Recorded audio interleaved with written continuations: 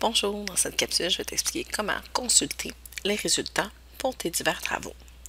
Donc, une fois que tu es dans Google Classroom, tu peux cliquer sur Affaires ici et tu peux aller cliquer tout de suite sur Terminer parce que c'est les travaux que tu auras terminés qui seront corrigés. Ensuite, tu peux sélectionner un seul cours, tu veux voir les résultats pour ce cours-là, et cliquer sur la petite flèche ici pour voir les divers travaux apparaître.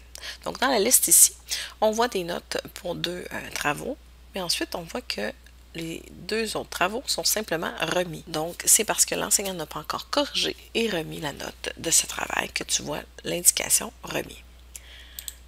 Si tu vois apparaître un crochet vis-à-vis un travail, c'est que celui-ci n'était pas noté. Donc, tu devais simplement confirmer ou remettre quelque chose à l'enseignant, mais qu'il n'y avait pas de note. Donc, voilà. Si tu désires en savoir plus, par exemple, tu vas aller consulter ta note ici. Tu cliques sur le travail en question. Ici, c'était un formulaire.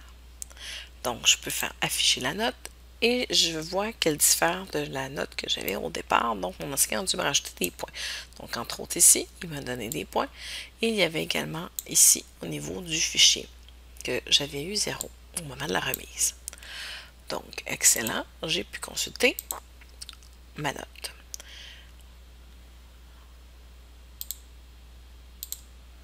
Tu peux également passer par Travaux et devoirs et cliquer sur la petite carte. Et tu verras l'ensemble de tes travaux et euh, la note jusqu'à présent pour ce cours. Voilà.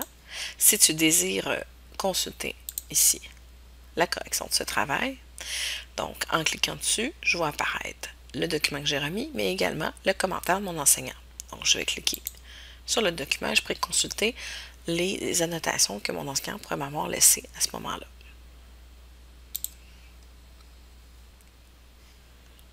Je te rappelle qu'ici à gauche, tu as divers filtres que tu peux utiliser pour trier tes travaux. Donc, par exemple, si je choisis attribuer, je vais voir les travaux que j'ai à faire. Si je clique sur rendu, je vais voir ceux qui ont été rendus par mon enseignant, donc soit corrigés ou euh, avec le crochet, comme quoi euh, il est fait manquant, c'est ceux qui me restent à faire et qui seraient en retard.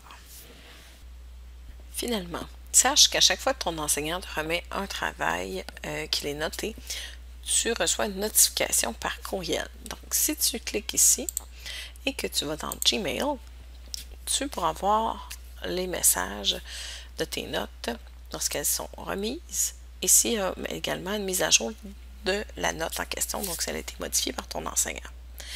Si euh, tu euh, ne vas jamais consulter cette boîte courriel, tu peux également la rediriger vers une autre boîte courriel. Tu peux aller consulter la capsule, rediriger le compte courriel Gmail. Ensuite, je te conseille également d'activer peut-être les notifications sur ordinateur pour savoir quand tu reçois un message de ton enseignant.